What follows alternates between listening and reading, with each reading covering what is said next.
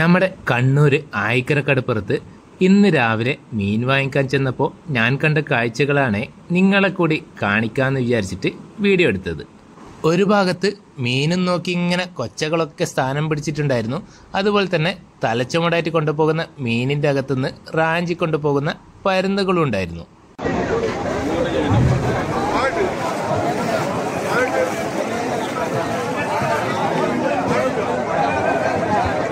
ഞാൻ ഇന്ന് രാവിലെ എട്ടര മണി സമയത്താണ് പോയിട്ടുണ്ടായിരുന്നത്. അപ്പോൾ കുറച്ചൊരു മൂടിക്കെട്ടിയ ഒരു കാലാവസ്ഥയൊക്കെ ആയിരുന്നു. കുറേ ബോട്ടുകളൊക്കെ അവിടെ സൈഡിൽ അടുപ്പിച്ചിട്ടുണ്ട്. കുറേ ചേട്ടന്മാർ ഇങ്ങനെ മീനൊക്കെ ഇങ്ങനെ കൊട്ടയിലൊക്കെ ആയിട്ട് കൊണ്ടുപോകുന്നുണ്ട്. കടൽ സാധാരണ ഉള്ളിലും കുറച്ചുകൂടി ഉള്ളോട്ട് ഉൾവലിഞ്ഞിട്ടാണ് ഇന്ന് കണ്ടിട്ടുണ്ടായിരുന്നത്. പിന്നെ മീനൊക്കെ അവിടുന്ന് കുറേ ചേട്ടന്മാർ വള്ളങ്ങളിൽ നിന്ന് മാറ്റി ഒക്കെ തരംതിരിച്ച് വെക്കുന്നുണ്ട്. കുറേ ചേട്ടന്മാർ തലച്ചുമടായിട്ട് കൊണ്ടുപോകുന്നുണ്ട്. ഇന്ന് കൂടുതലും മത്തിയാണ് ഉണ്ടായത്. നമ്മൾ ഈ ചേട്ടന്മാരെടുക്കുന്നതാണ് ഇന്ന് മീൻ വാങ്ങിച്ചത്. ചെമ്മീനും അതുപോലെ തന്നെ മത്തിയും.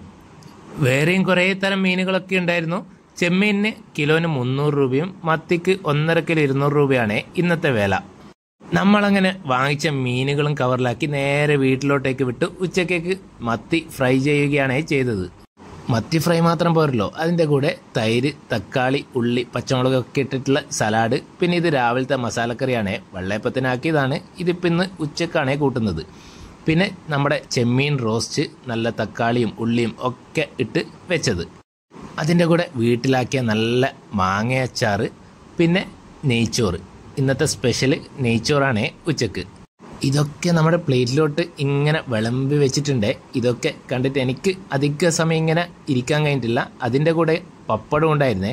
അപ്പോൾ ആദ്യം ഞാൻ മസാലക്കറിയും നെയ്ച്ചോറും കൂടി നന്നായിട്ട് മിക്സ് ചെയ്തിട്ടാണ് കഴിച്ചത്.